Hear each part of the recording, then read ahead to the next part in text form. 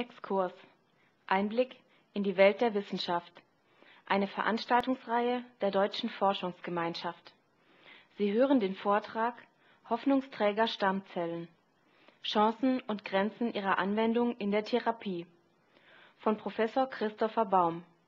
Gehalten am 29. März 2011 in der Urania in Berlin. Meine sehr verehrten Damen und Herren, ich freue mich, dass Sie der Versuchung des zeitgleich stattfindenden Länderspiels ähm, widerstanden haben, um sich heute hier mit grundlegenden Fragen der Stammzellen in der Medizin zu beschäftigen.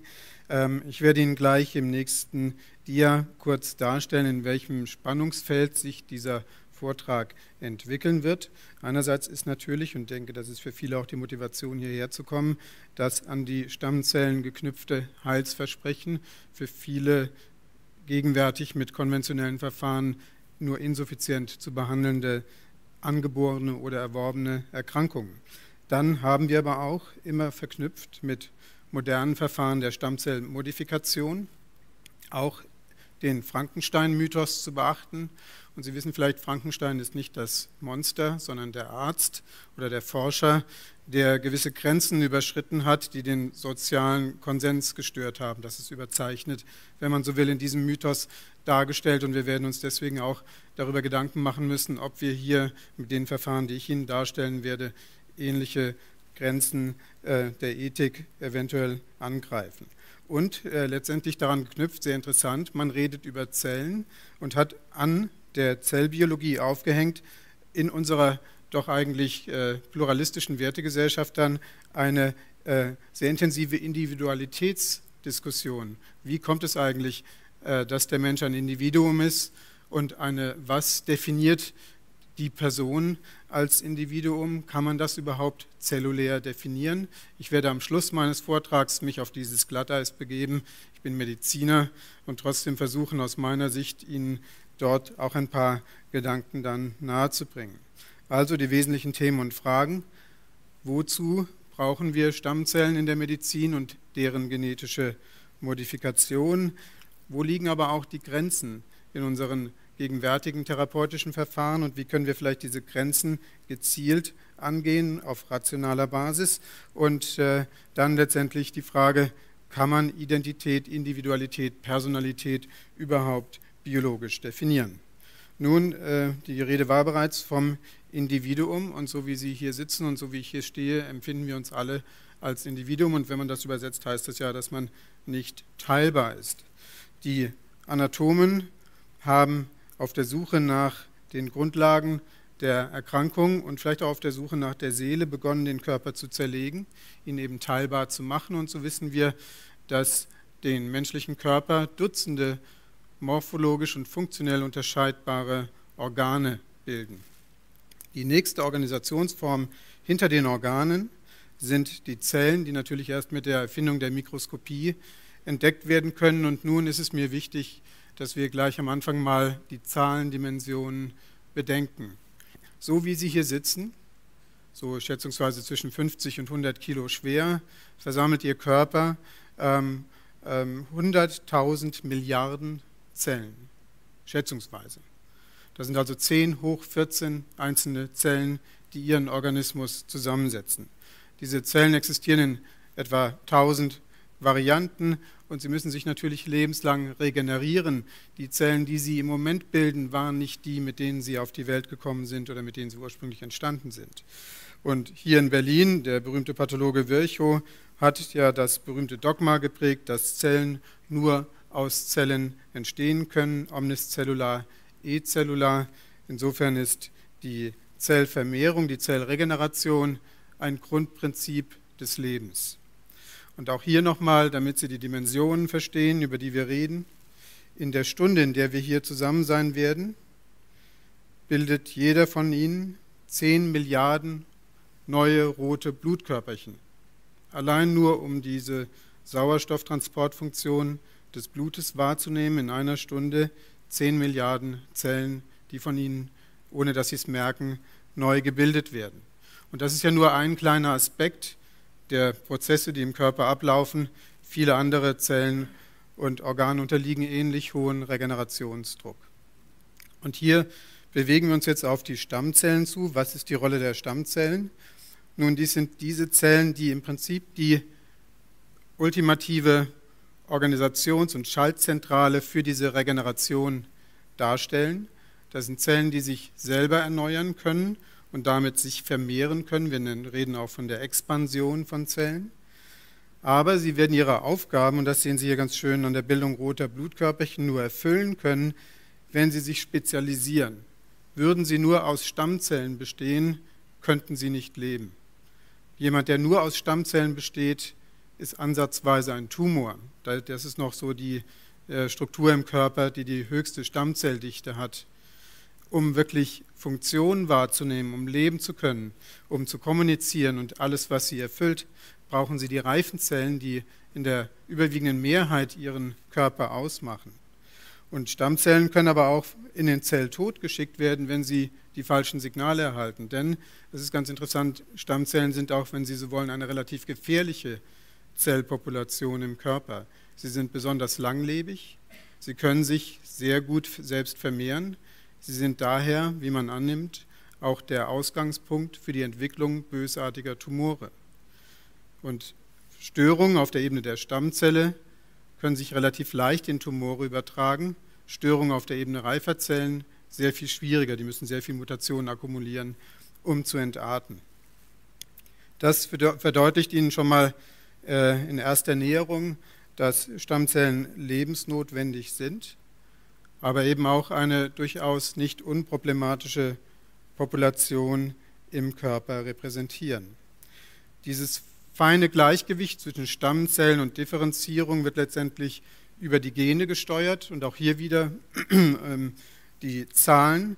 Äh, wir gehen davon aus, dass man mindestens 25.000 funktionell unterscheidbare Gene in einer einzigen Zelle hat, die dann in unterschiedlichen Editionen RNA und Proteine übersetzt werden, sehr komplexe Interaktionen miteinander wahrnehmen in der Zelle und über einen Mechanismus, den wir Epigenetik nennen, in ihrer Aktivität kontrolliert werden.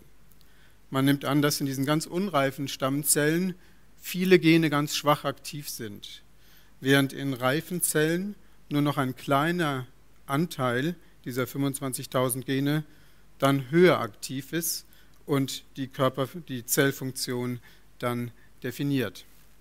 Das also ist diese epigenetische Kontrolle.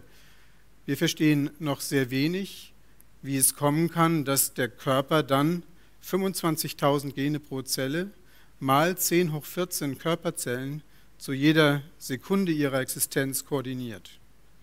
Da haben wir noch relativ wenige Begriffe, wie man das auch nur genetisch fassen kann. Wir wissen aus der Entwicklungsbiologie, ähm, dass hier strenge Gesetze herrschen, die zum Teil genetisch determiniert sind, aber die Grundgesetze sind in der Tat noch sehr wenig verstanden. Also Sie können jetzt hier sich gratulieren, dass Sie zu dieser enormen Leistung fähig sind. 25.000 mal 10 hoch 14 Gene ungefähr zu koordinieren in ihrer Existenz. Und das ist eigentlich auch die beste Nachricht, die ich Ihnen heute geben kann. Aber ich hoffe, dass Sie trotzdem jetzt hier bleiben, denn ich will natürlich auch mit Ihnen diskutieren, was wir aufgrund unserer immer noch bescheidenen Einblicke in diese Vorgänge uns für neue therapeutische Konzepte überlegen. Wir wissen zum Beispiel immer mehr, dass Erkrankungen auf identifizierbaren Genfehlern beruhen. Die können angeboren sein, dann sind sie in allen Körperzellen mehr oder weniger vorhanden, oder sie sind erworben, dann entstehen sie in einzelnen Körperzellen und je nachdem, ob die Zellen sich durchsetzen, setzen sich diese Mutationen mit den Zellen dann durch. Nun kann man dann konsequent sagen, wenn es so ist, dass Erkrankungen auf Genfehlern beruhen, dann sollte ich doch in der Lage sein, genau an dieser Wurzel des Übels einzugreifen und Erkrankungen zu therapieren, indem ich Gene, die Informationsträger in den Zellen, korrigiere. Hier ist natürlich der, äh, die Tür eröffnet zur Gentherapie. Und die entscheidende Frage ist, welche Information, welches Gen bringe ich ein? In welche Zelle muss ich denn überhaupt dieses Gen dann einbringen? Und wie viele Zellen muss ich verändern, um einen therapeutischen Effekt zu erreichen? An dieser Stelle ein paar Fachbegriffe, die dann wahrscheinlich mir mehr oder weniger unwillkürlich in meinem weiteren Vortrag unterlaufen werden, weil das unser täglicher Jargon ist. Wir reden vom Vektor, wenn wir ein Vehikel beschreiben, was Gene in Zellen übertragen kann und dann die Grenzen überwindet an der Zellmembran oder an der Kernmembran, um dann das Gen an den Chromosomen oder in die Chromosomen zu verankern. Wir reden vom Transgen, wenn wir von dieser künstlich geschaffenen Erbinformation reden, die übertragen wurde in Zellen. Und wir reden von somatischen Zellen als Zielzellen, weil das schon das erste wichtige ethische Dogma ist, das klar ist für die Entwicklung dieses Feldes. Wir wollen nur Körperzellen, somatische Zellen verändern. Wir wollen keine Erbinformationen in Keimbahnzellen einbringen. Es geht nicht darum, das menschliche Genom als Ganzes zu modifizieren. Es geht darum, das Genom in den Zellen zu modifizieren, die für den Erkrankungsprozess entscheidend sind. Daher redet man auch von der somatischen Gentherapie unter Ausschluss der Keimbahnmodifikation. Und letztlich geht es hier um die Behandlung von Erkrankungen. Das heißt, wir müssen einen systemischen Effekt mit dieser molekularen Operation erreichen. Und bei Erkrankungen herrschen häufig sehr stressvolle Milieufaktoren.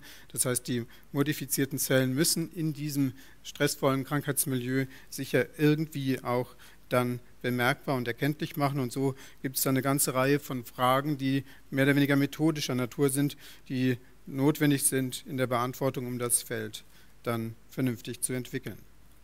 Im wesentlichen Unterschied zur Pharmakotherapie machen Sie hier keine Veränderung des Milieus. Sie geben keine Chemikalien, die dann in die Zellen eindringen und dort dann irgendwelche Schaltprozesse verändern.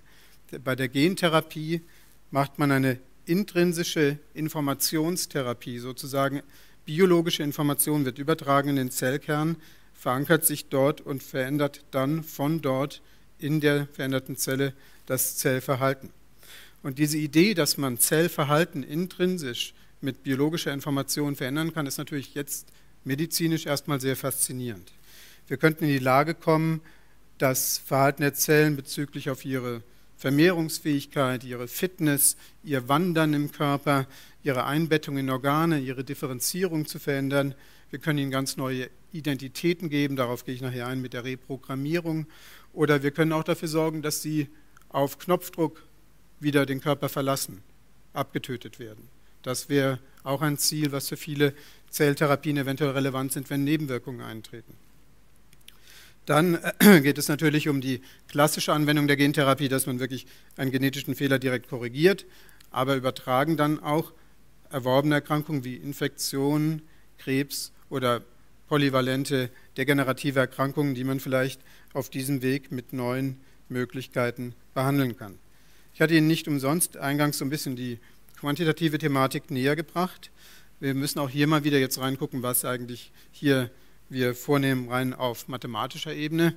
Ähm, und äh, das bedeutet, wenn Sie ein Gen übertragen in die 25.000, die im Genom wild verstreut auf den Chromosomen liegen, müssen Sie natürlich dafür sorgen, dass dieses Unterverhältnis von 1 zu 25.000 irgendwie so geartet ist, dass das übertragene Gen sich auch bemerkbar macht gegen die anderen Gene, die dort ja auch sitzen. Und ich hatte Ihnen jetzt erzählt, viele Zellen schalten Gene ab, um reife Zellfunktionen wahrzunehmen, um sich zu spezialisieren. Dieses übertragene Gen soll nicht abgeschaltet werden, das soll ja die Funktion übernehmen. Und wir dürfen natürlich auch nicht vergessen, wenn wir nur so eine transgen veränderte Zelle übertragen in den Körper, dann haben wir eine homöopathische Verdünnung von 1 zu 10 hoch 13 bis zu 10 hoch 14. Es gibt noch kein beweises Prinzip der Gentherapie Homöopathie. Ähm, wir gehen davon aus, dass wir in der Gentherapie relativ hohe Wirkdosen an Zellen erreichen müssen. Mindestens 10 hoch 9 Zellen, das ist ungefähr ein Gramm Gewebe, sind häufig notwendig, um therapeutische Effekte zu erreichen. Und deswegen versucht man in genau die Zellen zu gehen, die sich ja vermehren können, das sind die genannten Stammzellen. Da ist die Verknüpfung von der Gentherapie zur Stammzelltherapie. Und so gibt es in ersten klinischen Studien, die alle noch nicht das Stadium erreicht haben, das für eine Zulassung als Medikament notwendig wäre, das sind frühe Beobachtungsstudien, so gibt es in diesen ersten klinischen Studien auch erste Hinweise, dass die Gentherapie durchaus bei schweren Erkrankungen neue Optionen bieten kann. Hier sind ein paar genannt, die brauchen Sie nicht alle zu kennen. Im Kontext der Stammzelldiskussion will ich erwähnen, dass man die Blutstammzellen verändern kann, um schwere Immundefekte zu korrigieren. Und man kann auch zum Beispiel Stammzellen der Haut korrigieren bei schweren Erkrankungen, wo sich die Haut ablöst und verbrennungsartige Symptome spontan bei den Patienten entstehen und schwerste Probleme dann auslösen. Und es gibt viele andere potenzielle künftige Anwendungsmöglichkeiten im Bereich der Neurologie und anderen Organen. Wir müssen hier mal ein bisschen tiefer einsteigen. Stammzell-Gentherapie, jetzt haben wir die beiden Bereiche verknüpft, Stammzellen und Gentherapie zur Regeneration des Immunsystems. Es gibt Patienten, bei denen fällt die Bindung aller notwendigen Zellen des Immunsystems aus. Wir reden von schweren kombinierten Immundefizienzen und die Babys fallen dann im jungen Alter, wenn der Schutz der Antikörper von der Muttermilch nachlässt, damit auf, dass sie schwerste Infektionen entwickeln, die lebensbedrohlich sind, noch im ersten Lebensjahr. Das kann man heutzutage relativ gut diagnostizieren. Man kann die Gendefekte erkennen, die dem zugrunde liegen. Es sind seltene Erkrankungen, seltener als 1 zu 100.000 zum Teil, äh, bezogen auf neue Geburten. Aber man kann dann überlegen, wenn wir hier das Gen kennen, äh, das dazu führt, dass die Bildung der Blutimmunzellen nicht mehr funktioniert, dann können wir vielleicht dieses Gen ja wieder neu einbringen in die Zellen, die letztendlich die Blutzellregeneration machen, nämlich diese Blutstammzellen. Und so ist gezeigt worden, jetzt in mehr als zehn Jahren, dass man bei diesen schweren kombinierten Immundefizienzen lang anhaltende Therapieerfolge bekommen kann und Kinder retten kann vor, vor diesen lebensbedrohlichen Infektionen, die von der Grunderkrankung ausgehen würden. Wir haben in der Medizinischen Hochschule in Hannover unter der Leitung meines Kollegen Christoph Klein eine solche frühe Beobachtungsstudie laufen bei einem anderen schweren Immundefekt der Wiskott-Aldrich-Syndrom-Erkrankung. Und meine eigene Abteilung ist sehr stark involviert in der Optimierung der Methodik, um solcherlei Eingriffe langfristig effizient und ähm, dann auch sicher durchführen zu können. Warum rede ich hier über Sicherheit? Nun, äh, das ist nochmal eine detailliertere Tabelle, die Ihnen zeigt, dass schon seit langem hier versucht wird, diese Form der Gen-Stammzelltherapien zu entwickeln, man aber jetzt seit ungefähr zehn Jahren Erfolge hat bei einer zunehmenden Anzahl von Patienten, die an diesen seltenen Erkrankungen leiden. Aber leider ist es bei einer ähm, relativ großen Anteil, ungefähr 25 Prozent der behandelten Patienten, zur Induktion schwerer Nebenwirkungen gekommen. Dieses neue Therapieprinzip hat auch eine neue Form von Nebenwirkungen in die Medizin gebracht. Man hat beobachtet, dass die genetisch modifizierten, eigentlich krankheitsheilenden Stammzellen plötzlich entarten können und eine Leukämie auslösen. Das ist natürlich ein schwerer Unfall dieses neuen Eingriffs, aber die gute Nachricht ist, alle bis auf einen Patient, die diese Nebenwirkung hatten, konnten gerettet werden durch die optimierten Leukämietherapien, die heutzutage zur Verfügung stehen. Ein Patient ist nur gestorben, schlimm genug, und wir sind aufgefordert, die zugrunde liegenden Ereignisse jetzt besser zu erkennen und vorherzusagen und vielleicht präventiv eingreifen zu können. Und hier muss ich Sie mal ein bisschen tiefer mit reinnehmen in die Molekularbiologie. Ich versuche das zu vermeiden, wo ich es nur kann.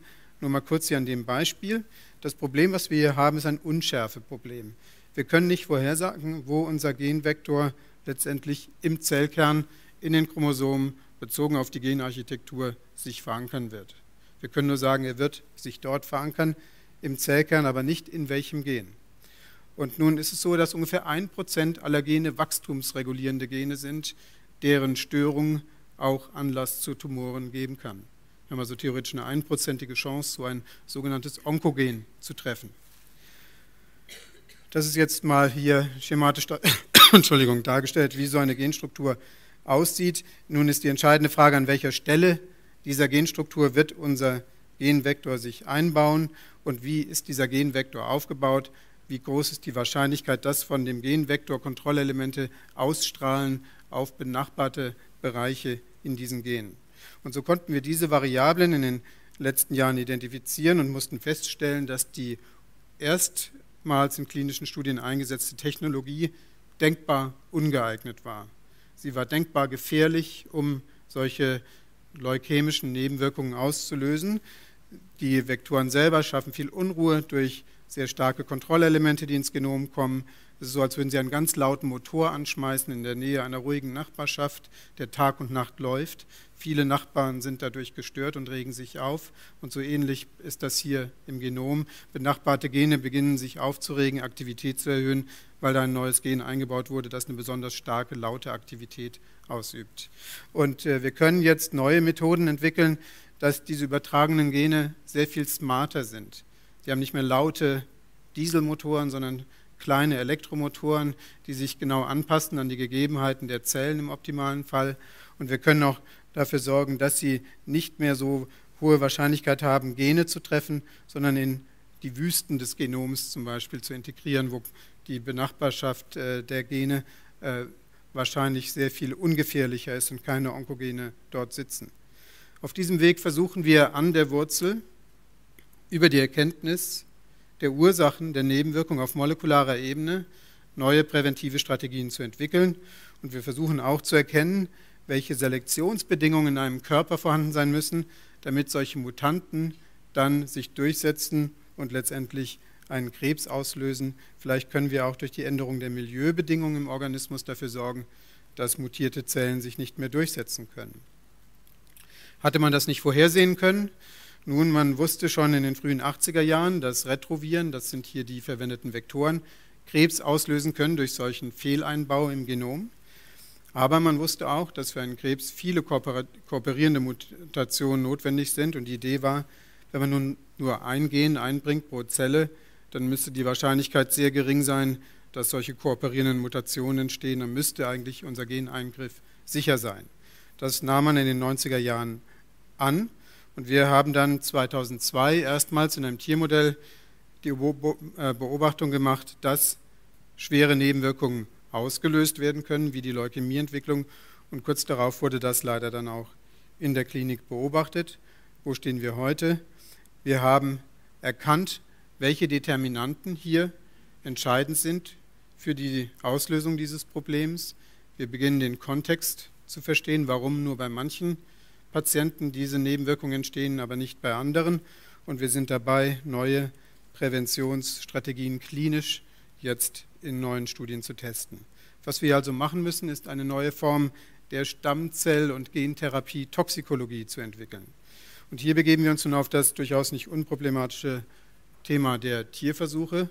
Wir müssen, wenn wir solche neuen ähm, ähm, Stammzell- und Gentherapien entwickeln, im Tiermodell prüfen, ob Effizienz oder auch Nebenwirkungen eintreten. Wir verwenden hierfür das gängigste Modell für die Blutbildung, die Maus. Und Sie sehen hier, dass wir Beobachtungszeiten haben von ein bis zwei Jahren, um zu sehen, ob Langzeitnebenwirkungen entstehen können. Dieses äh, Modell, das wir entwickelt haben seit 2002, ist inzwischen international akzeptiert, aber es hat den Nachteil, dass es diese sehr lange Beobachtung braucht. Die regulatorischen Behörden, die solche neuen Therapien überwachen, fragen nach den Daten. Aber wir haben auch das Problem, dass wir keine gute Quantifizierung von Nebenwirkungen aus äh, vornehmen können. Wir können nur grundlegende Prinzipien beschreiben, weil Nebenwirkungen extrem selten sind, auch in diesem Modell. Wir waren also aufgefordert, hier bessere Methoden zu entwickeln, die möglichst keine Tiere brauchen und sehr viel schneller sind in dem Nachweis möglicher Probleme. Und äh, das ist die Arbeit, die dann zu dem Tierschutzpreis der Deutschen Forschungsgemeinschaft 2009 geführt hat. Ähm, wir haben hier ein Zellkultursystem entwickelt, das sehr viel sensibler ist als die Maus in vivo, um Nebenwirkungen abzubilden. Und nicht nur sensibler ist, sondern wir können auf zwei Ebenen, ich will hier nicht auf Details eingehen, auch eine sehr genaue Quantifizierung der Nebenwirkungen vornehmen. Und wir müssen uns jetzt gewöhnen, in dem Kontext neuer Stammzelltherapieentwicklung, dass wir vielleicht gewisse Risiken nicht auf Null runterdrücken können. Wir können keine Schwarz-Weiß-Malerei erwarten, die perfekte genmodifizierte Stammzelle, die niemals Nebenwirkungen machen wird. Worum es uns geht, ist eine rationale Erkenntnis der Wahrscheinlichkeit von Nebenwirkungen. Und um Wahrscheinlichkeiten zu berechnen, brauchen wir quantitative Nachweissysteme und solche Zellkulturverfahren können genau diese genaue Quantifizierung sehr gut leisten. Was hier im übertragenen Sinn passiert war als Grundprinzip dieses Versuchssystems, war, dass wir einfach nur Zellkulturbedingungen definiert haben, die innerhalb recht kurzer Zeit von nur vier Wochen sehr seltene Mutanten herauswachsen lassen. Die Zellkulturbedingungen, das Milieu ist so selektiv für die Mutante, dass selbst, dass sie sehr gut nachweisbar ist, auch wenn sie am Anfang nur eine von 100.000 Zellen ausmacht. Und durch diesen Selektionsdruck, Darwinsches Prinzip der Evolution, können wir der Mutante zum Vorteil verhelfen und hier ein sehr sensitives Nachweisverfahren etablieren. Mithilfe dieser neuen Formen von Zellkultursystemen können wir jetzt sagen, dass wir in der Lage sind, die Sicherheit für künftige Anwendungen etwa zehnfach zu erhöhen, wenn wir das Gen umbauen, den Dieselmotor auswechseln gegen den feinen, leisen Elektromotor. Und ungefähr neunfach konnten wir quantifizieren, können wir das Risiko von transformierenden, krebsauslösenden Ereignissen hoffentlich senken, wenn wir daran basteln, wo das Gen im Genom integriert, dass wir das Integrationsspektrum ändern. Und auf der Basis solcher Erkenntnisse können wir jetzt in neue klinische Studien treten, die wir typischerweise so organisieren, dass gleich mehrere klinische Zentren in einem Land oder sogar multinational sich diese neuen Technologien aneignen und dann gerade bei seltenen Erkrankungen dann möglichst innerhalb kurzer Zeit einige Patienten behandeln, sodass wir relativ schnell Einblicke erhalten, ob die Vorhersagen aus den präklinischen Modellen auch wirklich in der Zukunft ähm, dann zutreffen werden. Und das kann man dann auf mehrere verschiedene Krankheitsentitäten anwenden. Was wir hier jetzt im Prinzip gesehen haben, war nur ein Beispiel, dass eine schwere Erkrankung durch Gentransfer korrigiert werden kann. Man findet schwere Nebenwirkungen, man erkennt die Ursachen dieser Nebenwirkungen, optimiert die Methodik und hofft dann in der nächsten Phase der klinischen Prüfung die höhere Effizienz mit höherer Sicherheit kombinieren zu können. Wir wollen hier letztendlich nochmal zusammenfassen, dass wir hier das Grundproblem haben, dass wir, um einen Patienten zu behandeln, immer gleich viele Millionen Zellen genetisch korrigieren müssen. Und das bedingt eben diese Unschärfe, weil wir viele Millionen Zellen behandeln, sind seltene Mutanten, die 1 zu einer Million Häufigkeit haben, theoretisch in der Lage, sich im Körper anzusiedeln und irgendwann durchzusetzen. Nun, äh, das Hauptproblem, was wir hierbei haben, ist, dass wir nicht vorher auswählen können, die Zellen, die die korrekte Korrektur enthalten haben und die schlechten Mutanten verwerfen können. Hierfür haben wir in diesem Bereich der Körperzellen des Blutes, der Körperstammzellen des Blutes, noch keine ausreichende Methodik zur Verfügung. Wir müssen also uns vielleicht überlegen, ob wir nicht äh, sehr viel radikalere Methoden einsetzen müssen, um dieses Problem an der Wurzel zu packen. Gegenwärtig versuchen wir, das Problem zu lösen über Dosisfindungsstudien und langsame Verbesserung der Technologie. Es wäre in der Zukunft sicherlich viel besser, wenn alle Kräfte in dieselbe Richtung zeigen und wir einen sehr viel gründlicheren Lösungsansatz hier entwickeln können. Dies ist eine alte Karikatur, die Ihnen zeigt, dass wenn man versucht, äh, die Natur zu bändigen, vielleicht Politik, Kultur und Wissenschaft in eine Richtung zeigen können, aber die Natur sich trotzdem in die andere Richtung bewegen möchte. Und die Frage ist jetzt, ob wir es irgendwie schaffen können, die Natur besser zu bändigen, sodass wir noch höhere Sicherheit bei Stammzellanwendungen erreichen werden. Wir wollen hier überlegen, statt viele Zellen zu verändern, den polyklonalen Ansatz, vielleicht nur eine einzelne Zelle zu verändern, die wir dann vermehren, sodass sie therapeutisch in wirksamen Mengen vorliegt. Das wäre der klonale Ansatz. Und hier begeben wir uns jetzt auf, Ebene, auf die Ebene einer Zellpopulation, die so eine massive Vermehrung von einer einzelnen Zelle aus zulässt. Das sind nicht die adulten Stammzellen, sondern die pluripotenten Stammzellen, wie wir sie nur in einer ganz frühen Form des Embryos finden. Wenn wir uns auf solche pluripotenten Stammzellen bewegen, dann deshalb, wie ich erwähnt hatte, weil diese Zellen klonal nahezu beliebig vermehrbar sind. Wir können aus einer Zelle sehr viele Zellen machen, die einen therapeutischen Effekt generieren sollen. Wir müssen aber hierbei darauf achten, dass wir erneut keine Techniken einführen, die die Keimbahn des Menschen in irgendeiner Form beeinträchtigen können. Und wir dürfen natürlich keine Techniken verwenden, die zum Verbrauch menschlicher Embryonen führen. Die neue Technologie, die sich jetzt hier abzeichnet, ist die Möglichkeit, dass man neue pluripotente Stammzellen schaffen kann, indem man Körperzellen auf dieses primitive Entwicklungsstadium, wie wir sagen, reprogrammiert. Ich könnte also zu Ihnen gehen, Körperzellen entnehmen aus der Mundschleimhaut und die zurückführen in diese frühe embryonale Daseinsform, von der aus sie dann beliebig vermehrbar wären. Dies ermöglicht mir die Chance einer klonalen Genkorrektur. Ich kann auf der Ebene dieser embryonalen pluripotenten Stammzellen eine Selektion durchführen, sicherstellen, dass mein Gen an der richtigen Stelle im Genom ist und im Prinzip sollten alle Nachkommen dieser Zelle dann genetisch homogen sein. Ja, eine einzelne Zelle, die ist charakterisiert, die wird jetzt gebeten, sich oder der erlaubt man, sich beliebig zu vermehren, um dann weitere neue Stammzellen davon ausgehend zu schaffen. Der Nachteil ist hier, dass dieser Prozess sehr langwierig ist, sehr teuer wahrscheinlich sein wird, später in der Anwendung. Und wir hier ein großes Problem haben, nämlich gerade durch die starke Vermehrung dieser Zelle, die notwendig ist, besteht die Gefahr des Auftretens von äh, sogenannten Spontanmutationen. Wenn eine Zelle sich teilt, kann es zu Fehlern bei der, Zell, äh, bei der Genomvermehrung kommen. Und um nur ein Gramm Gewebe herzustellen, brauchen wir eine Milliarde Zellen, ausgehend von dieser einzelnen Zelle. Das ist ein Prozess, der 30 Tage dauert, wenn die Zelle sich jeden Tag teilt und keine Zellen in der Kultur verloren gehen. Wenn nun eine spontane Mutationsrate besteht, kritische Bereiche im Genom plötzlich zu verdoppeln oder zu verdreifachen im Bereich von 1 zu 10.000 bis 1 zu 100.000 oder eine, 1 zu einer Million, das ist empirisch dargestellt, dann werden wir immer bei einer Kultur dieser Größe von einer Milliarde Zellen solche Mutanten mit dabei haben.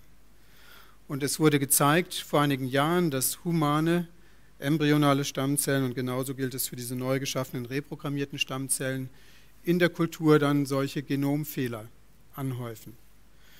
Und die Teile des Genoms, die hier vermehrt werden, tragen Gene, die die Zellvermehrung in der Kultur regulieren.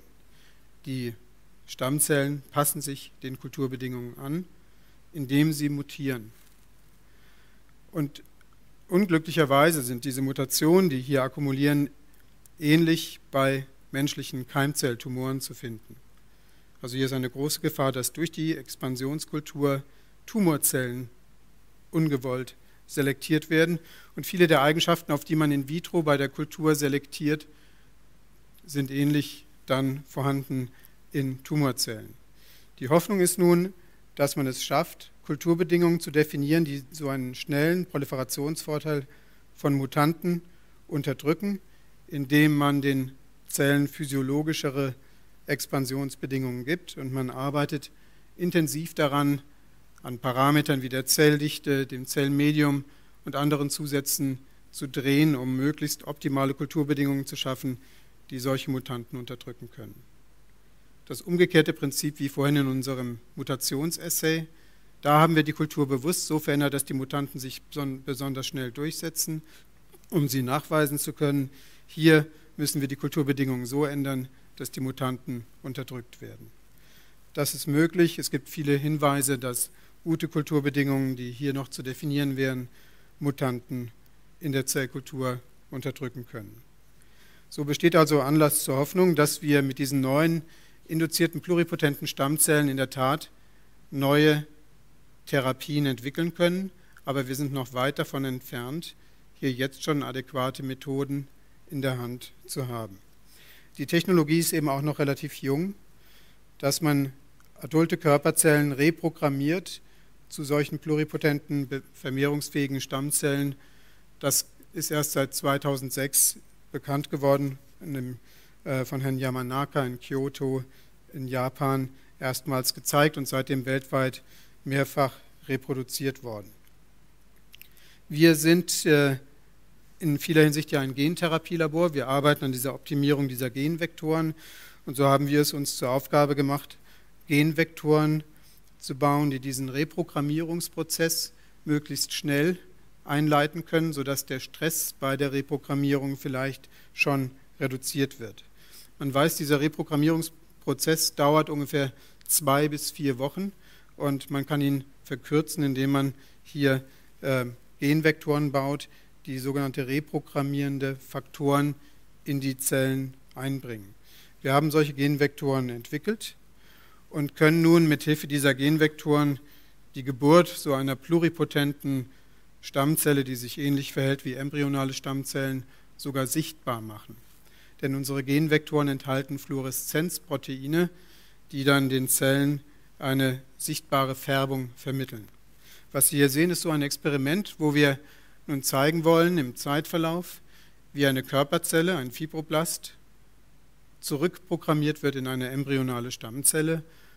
Und bedenken Sie, das könnte eine Zelle sein, die aus Ihrem Körper entnommen ist, die wir nun in der Zellkultur behandeln und auf das Stadium zurückversetzen, das Sie kurz nach der Empfängnis hatten. Das ist ungefähr das Zellstadium, was wir hier versuchen wieder zu erzeugen durch einen sogenannten epigenetischen Programmwechsel. Wir sehen hier beim Tag viereinhalb nach der Genmodifikation zwei solche rot leuchtenden Zellen, die langsam wachsen hier über die nächsten Tage und dann hier am Tag 8 so einen Zellklumpen bilden. Die Zellen sind rot, weil sie alle diesen Vektor tragen, der ihnen sagt, ihr sollt reprogrammieren zu einer pluripotenten Zelle. Plötzlich sehen wir am Tag 8 hier ganz leicht, und ich hoffe, Sie können es auf der Projektion sehen, hier eindeutig am Rand grüne Zellen aufleuchten. Warum werden die Zellen plötzlich grün? Hier ist ein genetischer Trick verwendet worden. In der Zelle eingebaut ist ein sogenanntes Indikatorgen, was grün leuchtet, sobald die Zelle auf dieses Stadium der embryonalen Stammzelle zurückversetzt wurde. Grün heißt, Reprogrammierung hat funktioniert. Sie können hier also morphologisch nachweisen mit seriellen mikroskopischen Aufnahmen, wie plötzlich diese Konversion einer Körperzelle in eine embryonale Stammzelle oder pluripotente Stammzelle funktioniert. Man kann das dann weiterverfolgen und sieht dann, dass diese grüne Zelle hier schnell wächst und sogar schneller wächst als die ursprüngliche Ausgangspopulation. Wir wissen, dass diese pluripotenten Stammzellen sehr schnell wachsen können und das ist hier sehr schön nachweisbar. Ganz interessant ist nun, wenn man sich dieses Zellkulturexperiment hier als Orakel betrachtet. Das ist aufgenommen worden lange vor der baden-württembergischen Landtagswahl. Aber es hat in der Tat eine gewisse Vorhersagekraft für die politische Situation in Deutschland. Ähm, Sie sehen hier eine schwarze Mehrheit am Anfang und zwei rote Parteien. Und Sie sehen, dass die beiden roten Parteien, das ist jetzt äh, Vorhersage für die spätere Zukunft, irgendwann mal fusionieren. Aber der Punkt, den ich eigentlich machen will, ist, dass aus einer der roten Parteien hier eine grüne Partei hervorgeht. Und äh, die grüne Partei wächst sehr viel schneller als beide roten zusammen. Und äh, hier haben Sie jetzt die grün-rote Koalition äh, am Tag 11,5, die jetzt die Kultur dominiert. Und wenn wir das weiterverfolgen würden, würden die Grünen die Roten komplett überwachsen und auch die Schwarzen. Ob das so zutrifft, können wir natürlich nicht vorhersagen. Ähm, Sie werden sich fragen, wo sind denn die Gelben? Und hier sehen Sie eine gelbe Zelle. Ich hoffe, Sie können das hinten sehen. Und nun müssen Sie wissen, gelb wird man in diesem Zellkultursystem, wenn man noch den Befehl des Vektors hat, du sollst reprogrammieren, aber schon längst reprogrammiert ist. Also sozusagen überflüssige Befehle empfängt, dann wird man gelb. Die Zelle hat noch nicht gesagt, wie Herr Westerwelle, ich habe verstanden ähm, und hat den Vektor noch nicht stillgelegt. Nun äh, ist das natürlich jetzt äh, sehr weit hier rein interpretiert in ein biologisches äh, Phänomen und wir wollen das auch schnell wieder verlassen, diese Interpretation, und ich will Ihnen das lieber als Film zeigen, äh, denn man kann das seriell im Mikroskop dann in einen Film die Fotos übertragen. Und ich hoffe, der Film kommt jetzt hier. Dann sehen Sie schön, wie die roten Zellen sich vermehren. Achten Sie mal hier auf diese Region. Und jetzt gleich tauchen hier die grünen Zellen auf, die dann an mehreren Stellen spontan unabhängig voneinander entstehen. Wir sagen, hier ist ein Spontanereignis notwendig, das zu dieser ultimativen Reprogrammierung führt, ein epigenetisches Ereignis. Sie haben hier also Film gesehen, wie solche embryonalen Stammzellen entstehen. Die müssen nun isoliert werden von dieser gemischten Kultur und vermehrt werden. Im Zwischenstadium sehen diese Kulturen dann weiterhin aus wie Patchwork-Kolonien.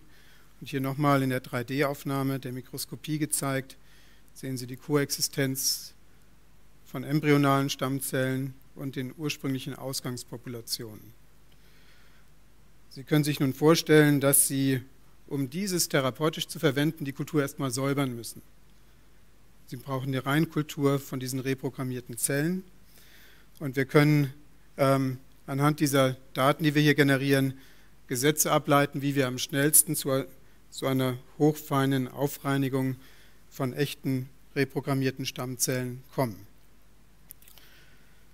Spannend ist auch, dass man hier die Möglichkeit hat, über einen genetischen Trick den Vektor so zu gestalten, dass er aus dem Genom wieder herausgeschnitten werden kann. Hier ist noch die Integration dieses Vektors, der die Reprogrammierungsinformation trägt.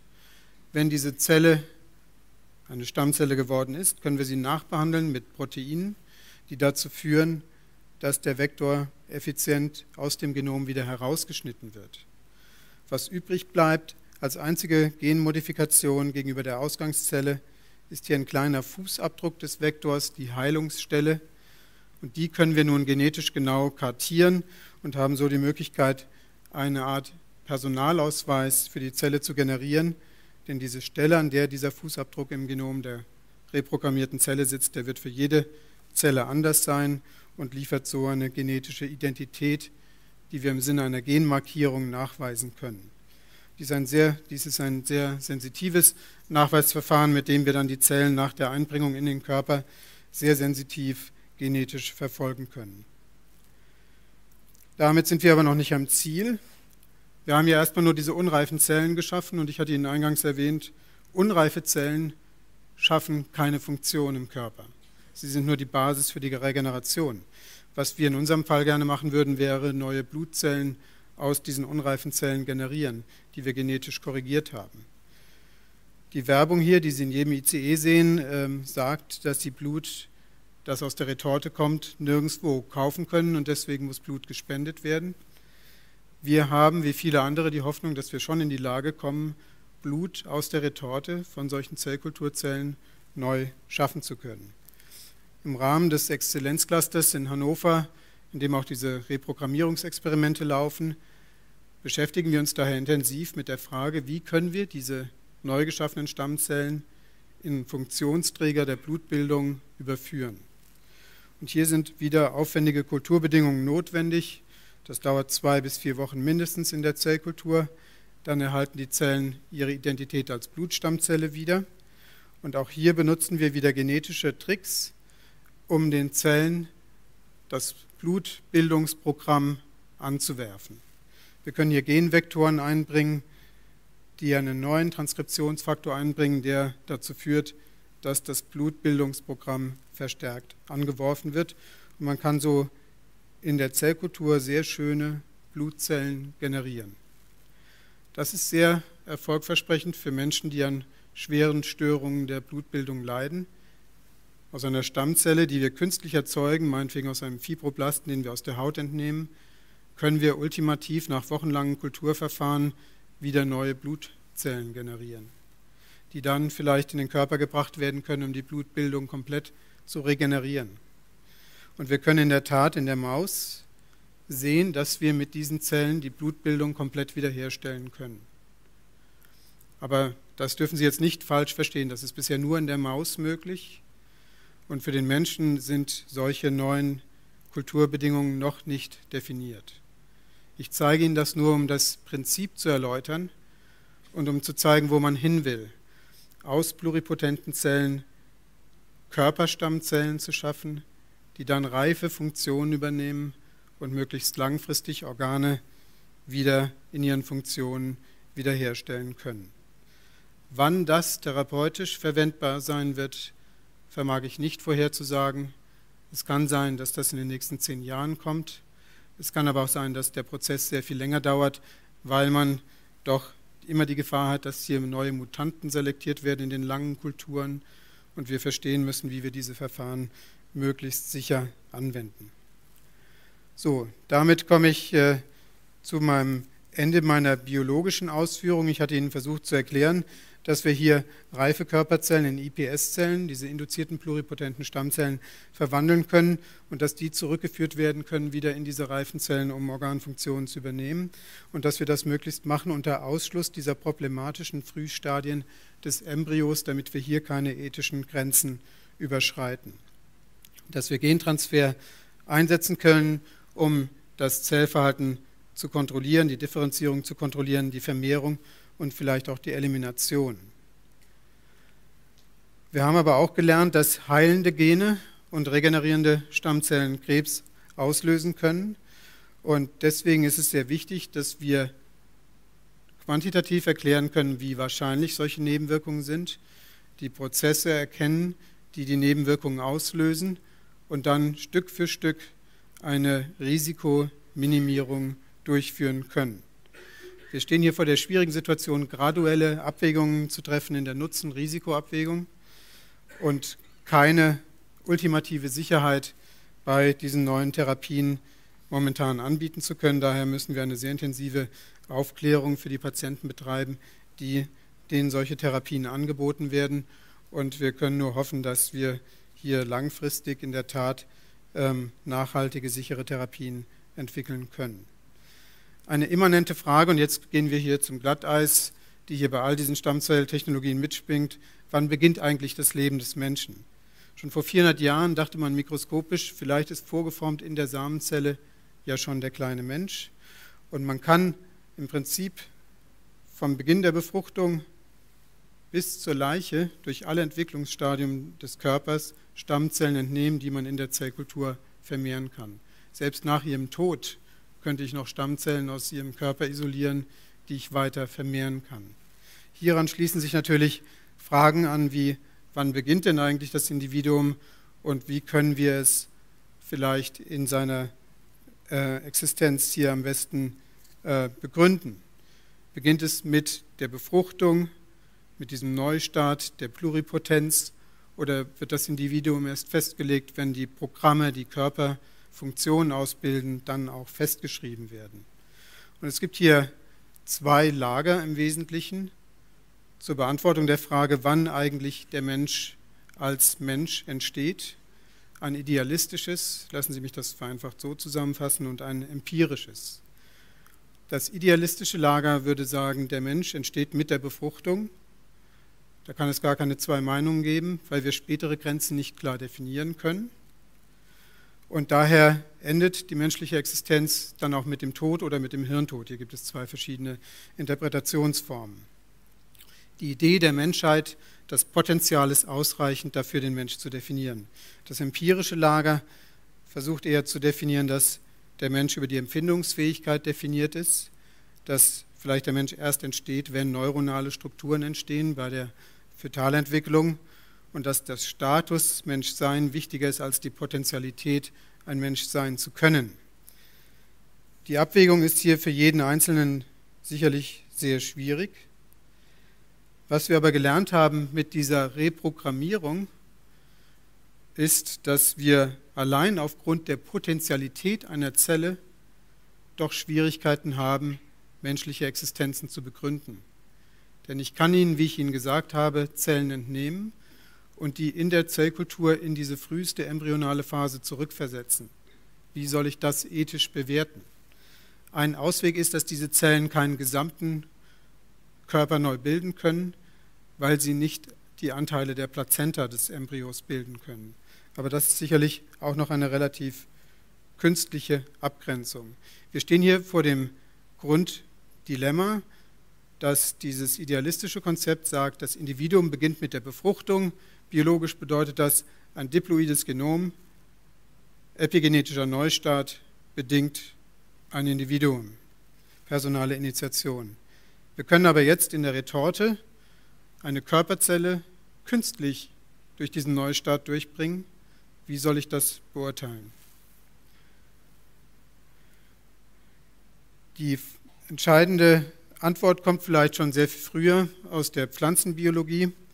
Man weiß eigentlich schon von Experimenten, die vor gut 50 Jahren gestartet wurden, dass man in Pflanzenzellen findet, aus denen komplette neue Pflanzen bei Auswahl richtiger Kulturbedingungen wiederhergestellt werden können.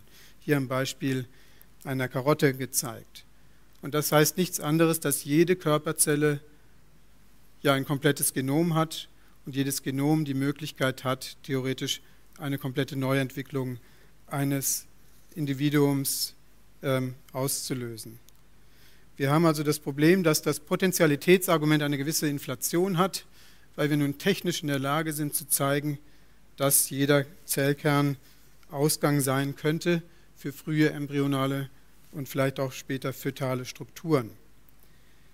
Die Frage ist daher, ob wir auf der Basis dieses genomischen Potenzials überhaupt Individualität definieren können und ob wir nicht andere Regelungen brauchen, die sich wegbewegen von dieser letztlich materialistischen Definition der Individualität. Ich kann, denke ich, menschliche Existenz nicht auf der Ebene des Genoms definieren.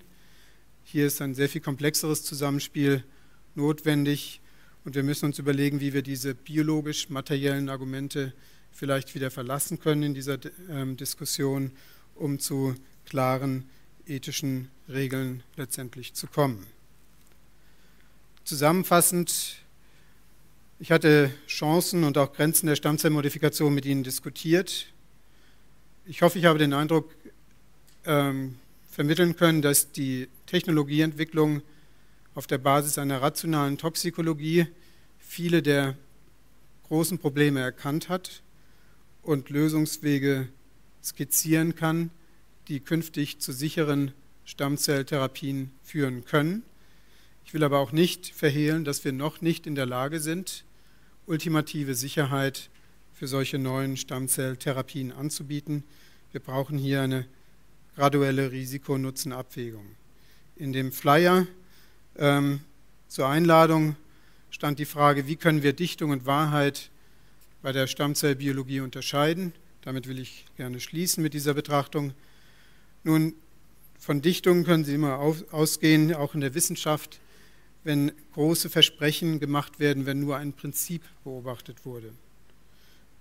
Hier die notwendigen Kontrollen nicht mal durchgeführt sind, um zu zeigen, wie gut das reproduzierbar ist und welche Kontextabhängigkeit hinter diesen Beobachtungen steht. Wahrheit äh, in der Stammzelltherapie können wir uns annähern, indem wir den Effekt in kontrollierten Studien zweifelsfrei nachweisen indem wir wesentliche Dosis limitierende Nebenwirkungen genauso gut kennen wie die erwartete Wirkung, indem wir, wiederholt erwähnt, quantitative Daten erheben, die zur Risiko-Nutzen-Abwägung geeignet sind, indem wir auch Kontextabhängigkeit, die Milieufaktoren untersuchen, die zur Selektion von Mutanten, die Nebenwirkungen auslösen können, führen wir müssten dann daraufhin klassische medizinische Prinzipien anwenden, wie realistische Dosisfindungsstudien. Wir brauchen Langzeitbeobachtungen, um die Effekte wirklich nachhaltig beurteilen zu können. Und ultimativ werden wir auch gesundheitsökonomische Planungsgedanken hier mit einfließen lassen müssen, da einige dieser Technologien sehr teuer werden und man dann auch sich Gedanken machen muss, ob man nicht ähm, andere Technologien favorisieren sollte, die mit einem geringeren Aufwand, vielleicht auch einer geringeren Präzision letztendlich zu ähnlichen Erfolgen führen. Damit möchte ich Ihnen für Ihre Aufmerksamkeit danken und mich vor allen Dingen bei meinen Mitarbeitern bedanken, die die Experimente machen, die hinter diesen Konzepten stehen. Hervorheben. Für die Vektorentwicklung möchte ich Axel Schambach mit seinem Team, für die Frage der Risiko-Nutzen-Abwägung und der Nebenwirkungsforschung Ute Modlich und Sejong Lee mit ihren Teams und für die Frage der Blutstammzellexpansion und verwandte Fragen auch der Signalbiologie in den Blutstammzellen Bernhard Schiedelmeier und Johann Mayer und für die Entwicklung neuer, innovativer Genmodifikationsmethoden neben dem, was wir klassisch machen mit Retroviren, Jürgen Bode und Toni Katomen. Ich danke der DFG für die umfangreiche Unterstützung unserer Arbeit, dem Bundesministerium für Bildung und Forschung und auch der Europäischen Union. Vielen Dank.